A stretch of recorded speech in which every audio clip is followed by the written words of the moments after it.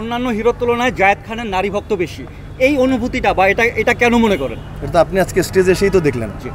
আপনারা তো দেখলেন? এটা কারও কারও রাশি থাকে কারও কারও অ্যাট্রাকশন থাকে অনেক সুপারস্টারদেরও থাকে না অনেক অনেক আর্টিস্টদের থাকে না আবার অনেক আর্টিস্টদেরও থাকে। আমার যে একার আছে নাথিং লাইক দ্যাট সবারই আছে হয়তো বা সব শিল্পী খেলোয়াড় সবারই আছে বাট আমি আবারও বলেছি এক কথা যেটা হয়তো বা আমি, আমাকে, আমার রাশিগত কোনো কারণ হয়তো বা আছে বা আমাকে হয়তো পছন্দ করে তাদের ব্যাপার। কারণ এই প্রমাণটা আজকেও আপনারা এসে দেখেছেন যে সবাই দৌড়ে ছবি তুলে, এবং আপনি যদি ভুল না করে আপনারা দেখেছেন কত যেখানে, যত মেয়েরা এখানে এসছে, সবাই কিন্তু আমার সাথে ছবি তুলেছে। They are they can they trust me আমি they likes me that's it একটা শিল্পীকে পছন্দ করতেই পারে শিল্পী হিসাবে। আপনি, আপনার ব্যক্তিত্ব, আপনার চলাফেরা সব কিছু মিলিয়ে একটা মানুষ আপনাকে পছন্দ করতেই পারে আপনাকে। এটা দোষের কিছু না। আমি যেমন একটু আপনাকে বললাম না, আমি সালমান খানকে পছন্দ করি। মেয়েদের চেয়েও আমি সালমান খানকে পছন্দ করি। যে কোনো মেয়ে শিল্পীর চেয়েও। কোনো আছে না কোনো মেয়ে আর্টিস্টকে কেউ পছন্দ করে, কারণ কোনো নায়িকাকে বলেন না। তার চেয়েও সালমান খানকে পছন্দ করি, তার স্টাইল এটা আমার মনের ভাইবস মনের একটা ফিলিংস মনের একটা কী বলব এটাকে, চাওয়া।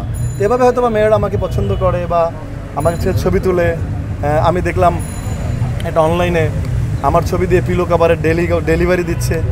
তো আপনি ভালোবাসে করেন, আর ভালোবেসে না করেন। আপনি কিন্তু আমাকেই অ্যাটেনশন দিচ্ছেন আমার কাছেই কিন্তু ঢিল মারছেন। এটা মনে রাখতে হবে হয়তো অনেক ট্রল করছে অনেকে অনেক কিছু বলছে। আমি এগুলো পজিটিভ দৃষ্টিতেই দেখি কারণ এত মানুষের সময় কোথায়? আমাকে নিয়ে এত কথা বলা নিশ্চয়ই আমি আলোচনার বিষয় বলে আমাকে নিয়ে এত কথা বলে। আপনি কি কোনো মেয়ের পাগল কিনা? এটা যদি তোমার আপনাদের সামনে বলি এটা আমার ভক্তের সঙ্গে কমে যাবে। এগুলো খুব সিক্রেট বিষয় এগুলো বিহাইন্ড দ্য ক্যামেরা বলব। খুশি করি মানুষকে।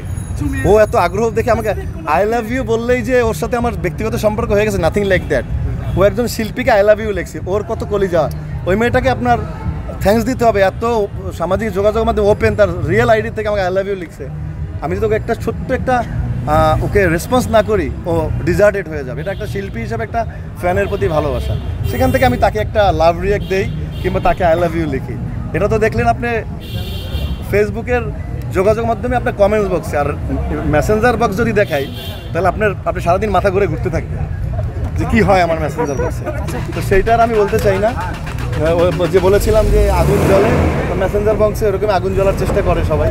আমি সবাইকে হেসে খেলে সুন্দরভাবে তাদেরকে রেসপন্স করি। তারা পছন্দ করে, এই তো ছোট্ট জীবন।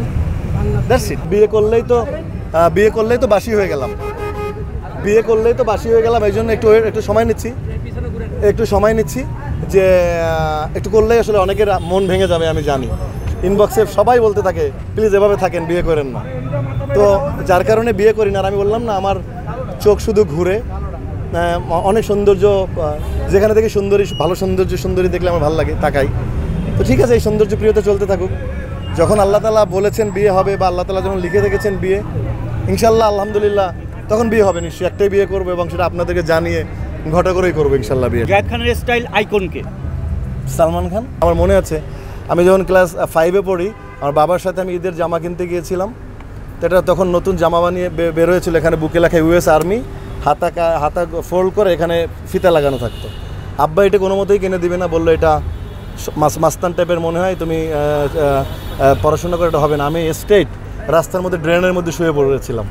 গড়াগড়ি করছিলাম, যেটা দিতে হবে। সমস্ত দোকানদাররা তাকিয়ে আছে পরে লজ্জায় পরে আব্বা কিনে দিতে বাধ্য হয়েছে। আমি ছোটোবেলায় যখন এসএসসি দেবো, তখনই মাথায় স্ক্রাব বাঁধতাম, চাপা কানের দুল পরতাম, হাতে এতগুলো ব্রেসলেট পরতাম। আমি ক্রিকেটের সময় আমি হাফ প্যান্ট পরে একপাশে আমি ইমরান খানের ছবি, আর একপাশে ওয়াসিম আকরামের ছবিগুলো আমি করতাম। আমি সবসময় এগুলোকে ফলো করতাম। ইদানিং আপনি দেখেছেন, আমি, পরে যখন আমি সিনেমা বোঝা শুরু করলাম, তখন আমার সালমান খানের স্টাইল ওইগুলো আমাকে খুব করে টানে। আপনি আমার শরীরে এখন যেগুলো পড়া দেখছেন, এগুলো সব কিন্তু মুম্বাই এবং সালমান খান বা অন্যান্য তারকারা যারা যেখান থেকে আনে, সেই জায়গাটা আর্টিস্টদের জন্য একটা জায়গা আছে।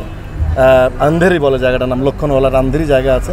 যেখানে সব তারকারা তাদের ড্রেসগুলো অর্ডার দিয়ে করে। আমার যে ড্রেসগুলো দেখতে পাচ্ছেন আমার শরীরে, এটা কিন্তু ওখান থেকে আনা এবং আমার তার স্টাইল তার চলাফেরা, ভালো লাগে। যে মানুষটা, পৃথিবীর সব মানুষ কাউকে কাউকে ফলো করে। এবং কেউ হয়তো বা কারোটা বলে কারোটা বলে না। বাট আমি স্ট্রেট বলি যে আমার idol Salman Khan as a fashion icon আমি তাকে ফলো করি। ভাই আপনাকে বলিউডে দেখতে পাবো কিনা? সেটা তো সময় সাপেক্ষ ব্যাপার। সব জায়গায় তো এখন প্রতিযোগিতা। বলিউডে এখন অনেক প্রতিযোগিতা নেটিজম চলে অনেক। তারপর হচ্ছে আপনারা জানেন যে ওখানে যার যার ফ্যামিলির থেকে যারা আসে তারা আসলে ওখানে সুযোগ পায়।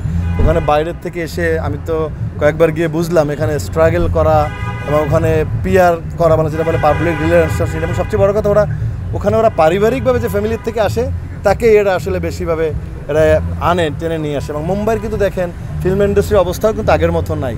কারণ ওরা এখন কিন্তু তামিল নির্ভর, তামিল চাপে, তেলেগু চাপে, তাদের অবস্থা কিন্তু অনেক খারাপ।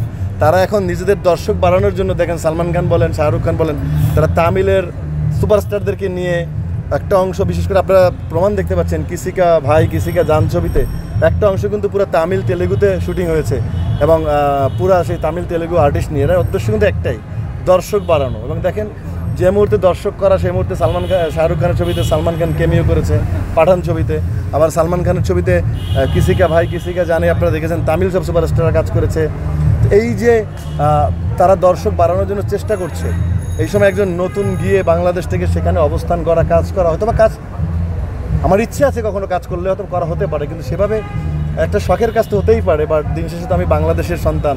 বাংলাদেশে ওন করি, বাংলাদেশকে ভালোবাসি। আমি বাংলাদেশেই কাজ করতে স্বাচ্ছন্দ্যবোধ বেশি করি। এদের সাথে একবার কাজ করতে চাই কারণ এদের টেকনিক্যাল সাপোর্ট এরা ওয়ার্ল্ড ওয়াইড কাজ করে, এটা বোঝার জন্য, জানার জন্য দ্যাটস ইট তো আপনাদের দোয়া, ভালোবাসা থাকলে ইনশাল্লাহ হয়তো বা মানুষ তো পৃথিবীতে সব কিছুই করে, মানুষ তো মানুষের সাধ্যের বাইরে তো কিছুই না, মানুষের চেষ্টা, বিশ্বাস, ইচ্ছা, সততা এবং আল্লাহর যদি রহমত থাকে মানুষ সব কিছুই করতে পারে। আমাদের দেশে বিগত দিনে তো অনেক স্টাররা গিয়ে বা আমাদের দেশের শিল্পীরা বোম্বেতে কাজ করেছে। তো ইনশাল্লাহ হোপসো দেখি যদি কখনও সুযোগ এরকম হয় বা আল্লাহ ওরকম কপালে আমার লিখে রাখে, আপনাদের দোয়া থাকে।